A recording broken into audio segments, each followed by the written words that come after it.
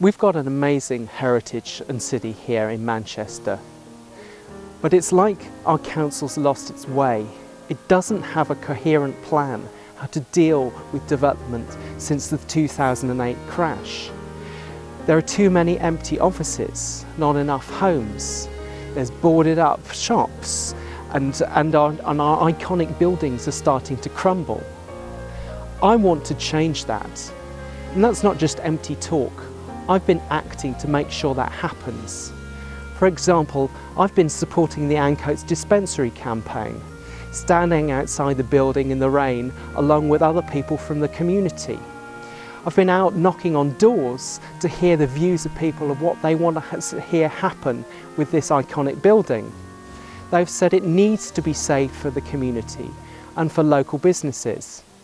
The campaign has worked.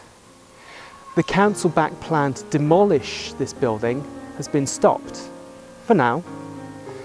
But that's why we need an independent voice councillor here, is to really speak out for what the residents want not just the, not just the empty wishes of a planning committee.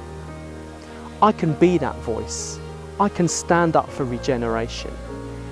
I can help build a coherent plan for the regeneration of uh, Ancoats and Clayton, along with you.